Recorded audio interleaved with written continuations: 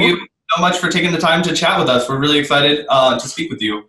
I think an important place to start in light of the kind of nation's response to the murder of George Floyd and um, the subsequent lack of action that was taken by local authorities before the protests began, and uh, quite frankly, the aggressive response from the police in uh, as a result of the peaceful protests. Uh, we've seen a lot of abdication from current uh, congressional um, representative pointing at the fact that this is a local issue that needs to be addressed at a local level. Um, but seeing as how this has erupted in so many cities across our country, um, is there action that can be taken at a federal level to kind of rein in our police, which to most people seem almost out of control?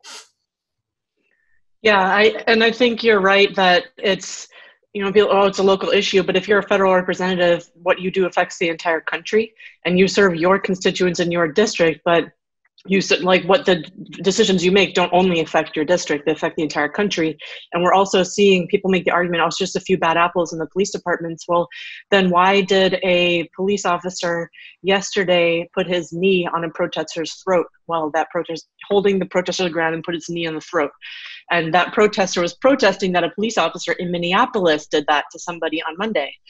And then we have pro, you know yesterday in new york you know as of the time that we're recording this yesterday in new york two suvs two police suvs ran over protesters. They were at a total stop and then they just put put the pedal to the metal and started running them over. Um, and just crime in charleston a few years ago um, if you recall the, the man who drove his car into the crowd of protesters except this time it came from the police yeah, absolutely. And I mean, it has yet to be confirmed, but there's a video that's gone gotten a lot of views on Twitter of a police officer flashing a white power sign uh, in New York. And the attorney general of the state responded saying, please report this to my office. We're going to look into it. And so um, I really, you know, the whole idea that this is just a bad few apples, no, it's a systemic problem. And if, if, if you're looking at this and you can't see that it's a systemic problem, you know, I highly doubt that the Minneapolis Police Department and the Seattle Police Department are talk to, talking to each other and telling each other to put their knees on people's throats, yet they're doing it. And like, I, yes, there are there are police groups on Facebook. They share memes. They talk to each other. But I don't really think this is coordinated with police departments across the entire country. It's a systemic problem that causes police to do this. And so, as a federal response, what we need to do is um, to drastically defund the amount of federal money that's going to the police. Stop sending military equipment to them. These are not military. Uh, these are not soldiers or military officers. They're not trained to deal with it. Something that um, really blew my mind was yesterday I was reading about tear gas, and um, it is actually a, a, chemical weapon, and it was developed for the trenches of World War One, um, and it was developed in the specific way it was to get around international treaties that existed at the time on using chemical warfare. So it's a chemical weapon that was designed for the trenches of World War One, like the horrors of the trenches. Um, to drive people out of the trenches. Like it was designed to make people just overcome with panic, um, not know what's happening, just intense pain, and then run out of the trench where they could then be shot. That's what's being used on the streets of our country.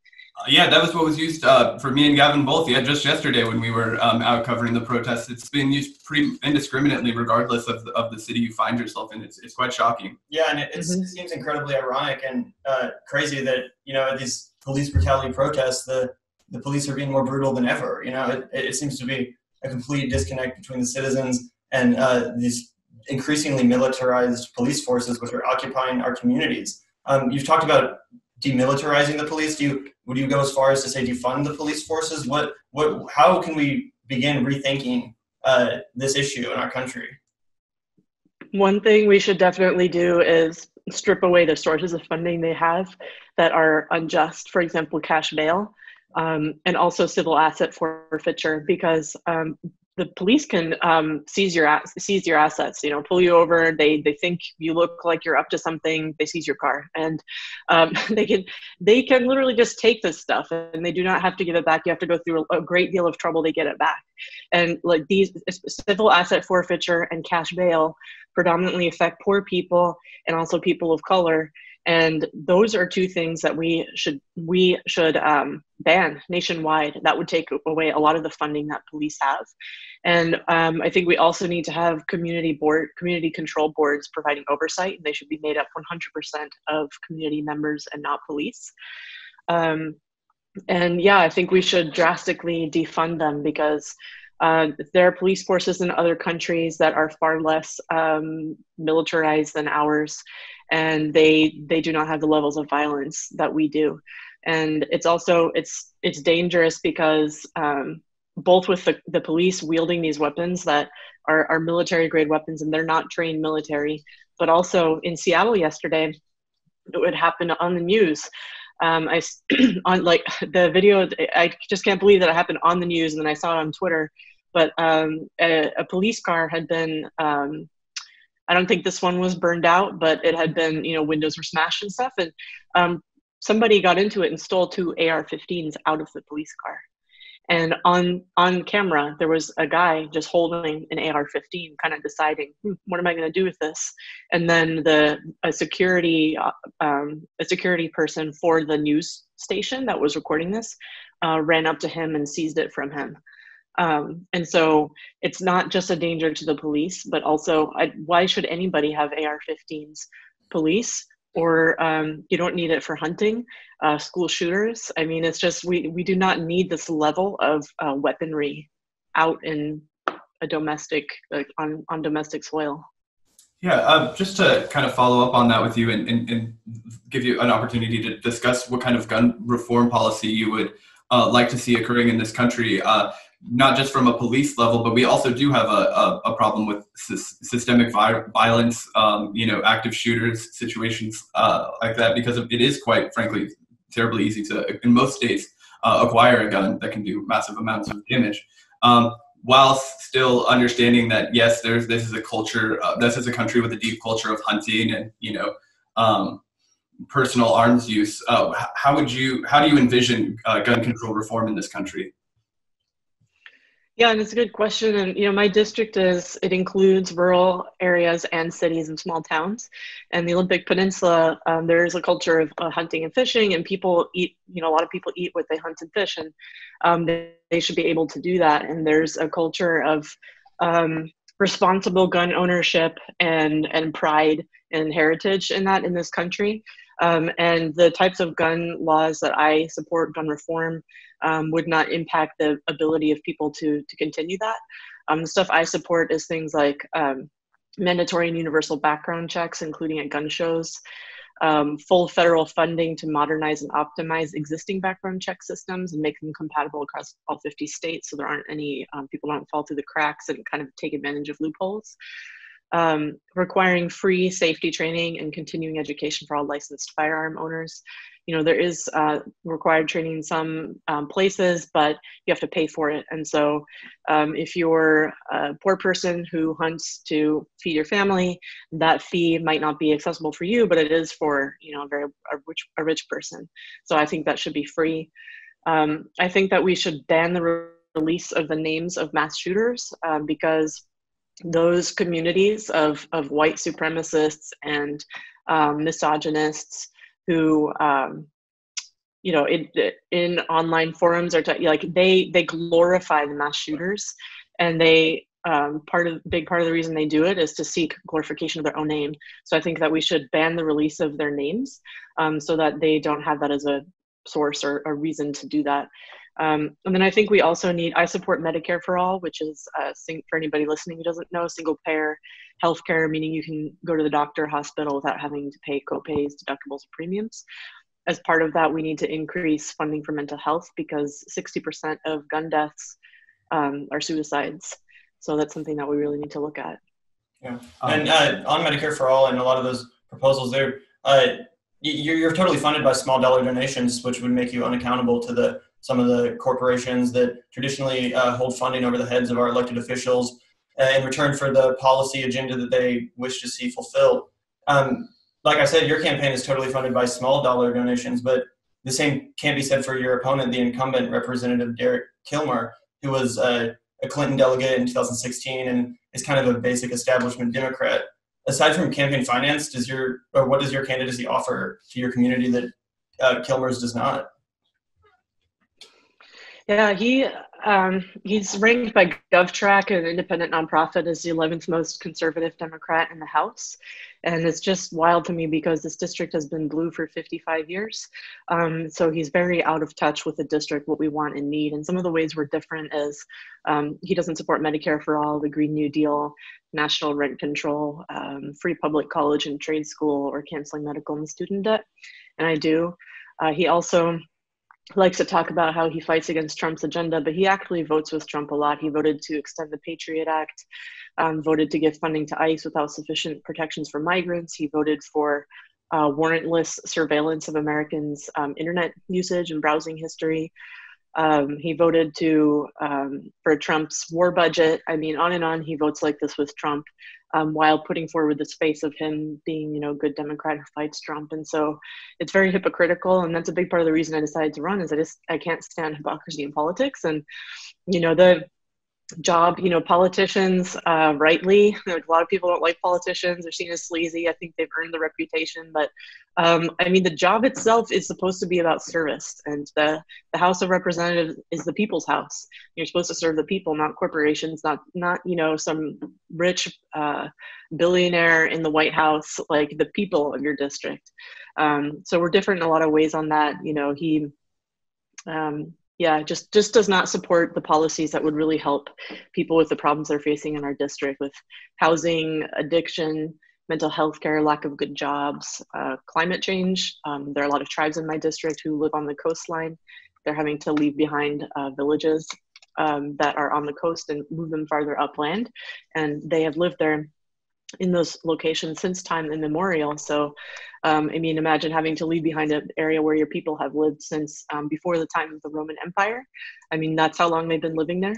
Um, it's a huge loss. So. Um, that's actually one of the reasons that we were really excited um, to talk to you. Is uh, you made it a very central in most of your uh, campaigning that you're you're unwilling to be bought.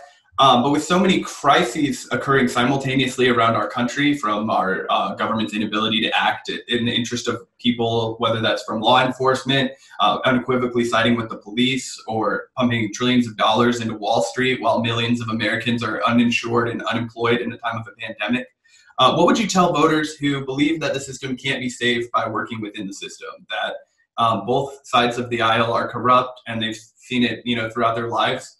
Um, what what what would you tell them to get them out to the polls one more time? I think a lot can be done. Um, for example, if you look at AOC, um, like and even Nancy Pelosi says, "Oh, the squad, they're only four votes. That's all the power they have."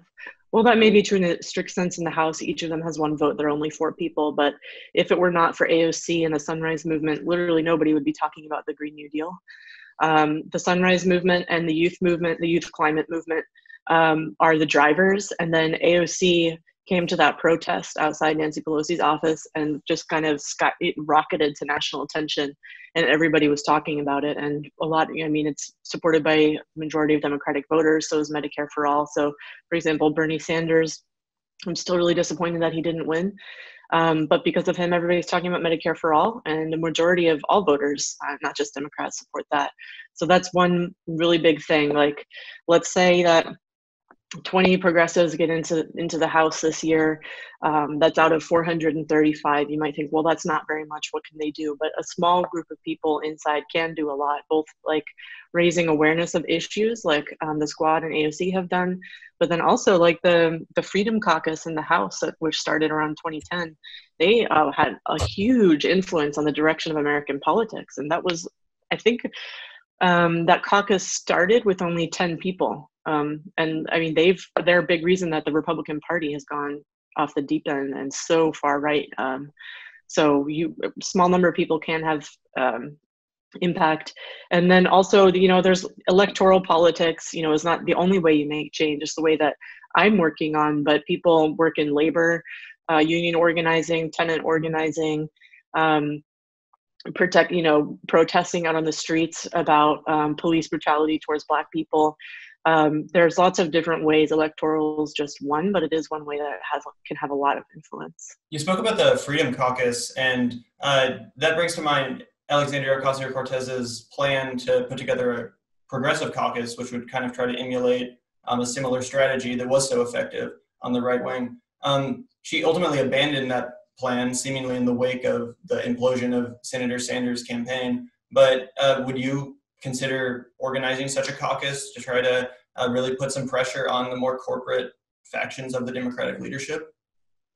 Yeah, I definitely would. And I think we need it because um, I mean, if you look at the caucuses that are in the House right now, so there's the New Democrats, which um, Derek Kilmer, my opponent, is the chair of, mm-hmm. and that's the third wave Clintonian, you know, conservative wing of the party. It's the largest Democratic caucus in the House.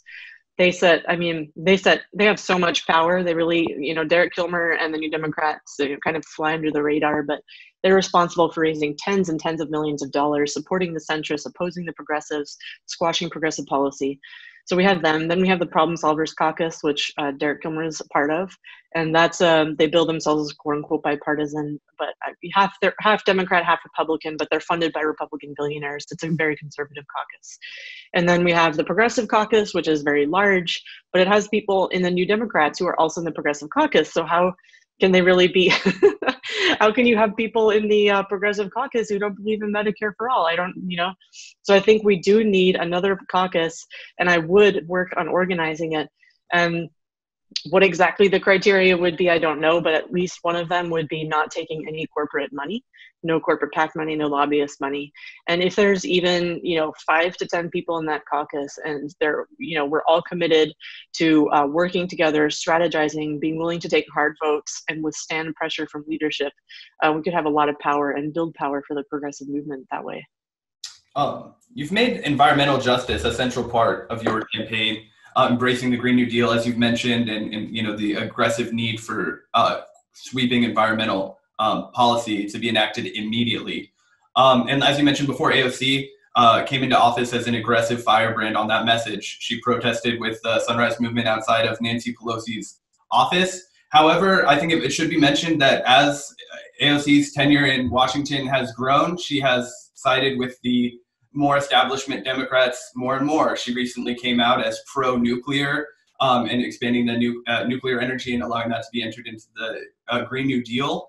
Um, what is your stance on nuclear power? And um, if elected, how would you uh, resist the pressures to pacify your demands within the Democratic Party? Well, in terms of um, withstanding you know, the pressures and uh, from leadership in the Democratic Party, um, it's you have to be accountable to to organizations outside of Congress, and so one organization that I'm, I'm accountable to is the DSA and to my local DSA chapters. And for example, there's an agreement with my like Tacoma DSA, which I'm part of and I'm very active with, is that if they endorse a candidate, the candidate agrees to meet with them on at least a quarterly basis. Um, and there's, you know, it's not like you just come in as me as a candidate and use the resources, get into office, and then they thanks bye, and you never hear from me again. There has to be some accountability and communication. And then also, I think that the left uh, needs to build up more power um, to hold people accountable. Like, you know, for example, and some kind of, uh, you know, whether it's DSA as it already exists. Um, I don't know how exactly what it would look like, but saying if you, you know, get in and then betray us, we will replace you. We'll kick you out and we'll replace you. Um, and that's what the Labour Party in the UK did. Um, their, one of their co-founders became prime minister, and then he adopted an austerity uh, agenda and betrayed them. And they kicked him out of the Labour Party while he was in office as prime minister. so that's the kind of thing that I think people on the left need to be willing to do with their leaders who betray them. Um, however you define betraying um, but th- there needs to be that kind of accountability on nuclear um, it's you know there's one uh, type. There's one way to. Um, I can't. I can't remember what it's called, but um, Bill Gates, his foundation, did research into it. Um, apparently, there's a new method to use nuclear waste, in a way to create energy and it it spends the waste so that the waste is then gone. And it does not have to be then dumped in uh, almost always poor communities like in nevada or other places across the country where you know uh, they they can't fight back. They don't have the money to say no um, and this waste gets dumped in their yard. This waste can be taken used in a very safe way much much lower chance of uh, meltdowns and um, then the waste itself is is used up and no longer exists. I think that's one thing to look at, uh, not generating new nuclear energy, but in a safe way using what exists, just getting it out of the system. Because, I mean, I remember this was a concern, like, you know, almost 20 years ago when I was in 10th grade biology class, and they were one of their projects they had us do, like the teacher had us do, was like design um, she was like, the teacher said, okay, so imagine we we put all this nuclear waste in a mountain in Nevada, and it lasts for millions and millions of years. Um, so imagine there's a future civilization that comes and they don't speak um, any human language. Um, they don't recognize any of our symbols or music or anything. How are you going to design something that um, communicates to them that this is dangerous? that's that's how long nuclear waste lasts. It's very it's very concerning. So I think it's a good question to bring up. Yeah. Well, yeah. Thanks so much. We definitely uh, need that kind of energy in the Democratic Party and uh, that willingness willingness to buck orthodoxy and kind of fight back against the parties. And uh, yeah, we're really hoping that you can um, succeed in your primary coming up in August. Yeah, something that we thought was really powerful in one of your campaign videos was about how corporations constantly pillage natural resources uh, from the communities that can't fight back, and you see that um, in you know Latino communities in Nevada, like you mentioned. You see it in white communities in Appalachia and West Virginia. Uh, you see it all over the country, and it's affecting all of the working um, people. Um, can you speak of some of the environmental pillaging that's currently going on in Washington?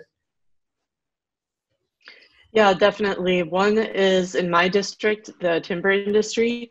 So the Olympic Peninsula, which for anyone not from this area, if you just picture the northwestern tip of the state, that's the Olympic Peninsula, and that's in my district, and it's absolutely beautiful. It has the Olympic National Forest and park in it, um, like just miles and miles of coastline. It's just um, amazing. It's right up next to Canada, very beautiful, um, and there are ancient, you know, old growth ancient forests on the Olympic Peninsula that have been there forever. Um, and timber companies like Weyerhaeuser came in, extracted all the timber they were legally allowed to, um, shipped it off. I mean, after the, the post-war boom after World War II, um, the, the, the boards that built the houses across the country came from the Olympic Peninsula. So these companies came in, they extracted all these resources, extracted their profit, and then they just up and left. And they just left a gaping hole where all these jobs used to be and a friend of mine um, who's from the area and she's running for state legislature, Mariana Hopkins Everson, she describes it as if a community could have PTSD, this is what it would look like. Um, you know, a lot of the problems that we're uh, recognizing now, like homelessness and um, the addiction have been problems in that area in on the Olympic Peninsula for decades, and it's now like the rest of the country is sadly catching up. But th- this has been in these places, it's been a problem for decades. And I mean, getting back to our earlier discussion about hunting, um. Uh, they had to, you know, replant all the forest, but it, it takes a long time before those trees are uh, can then be logged. And so they're not doing anything with the land. They get they pay extremely low tax rates on acres and acres of land. And um, people in that area used to go on to Weyerhaeuser land to hunt and you eat what they hunted. And then Weyerhaeuser put up fences to stop them from going uh, on on the land to hunt. And it's like um, like Robin Hood days and there's a royal forest and the poachers aren't allowed onto the hunting grounds. I mean, it is like a, it's medieval like these like they just treat people like serfs come in and use what they want use the resources use the labor and then just up and disappear. And then like if you try to just get food for your family we'll screw you. Um, yeah that's that's one way that we're seeing this kind of environmental devastation here. And another one is um, the orca population of orca whales. Um, the orca population in the Puget Sound and on the US side of the border is um, in danger of going extinct, but on the northern side of the border in Canada, um, they are doing fine, they're thriving.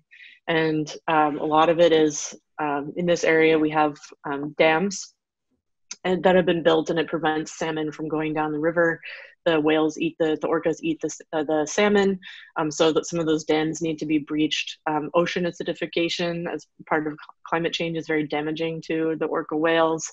Um, so there's stuff like that as well where um, it affects the orca population, but then also um, the tribes on the coast, they have a tradition going back thousands of years of hunting whales.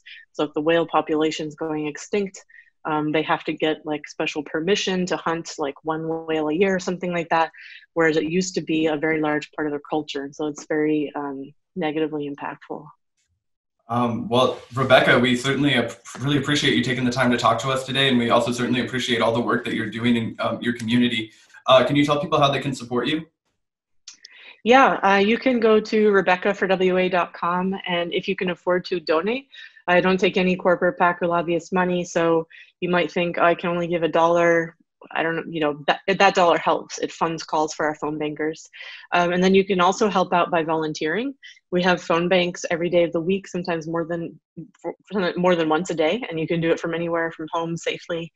Um, so you can sign up to volunteer at the events page on my website and follow me on Twitter, Facebook, and Instagram at Rebecca for WA. Awesome. Thank you so much, Rebecca. Yeah, thank you. Thanks so much. Bye. Bye.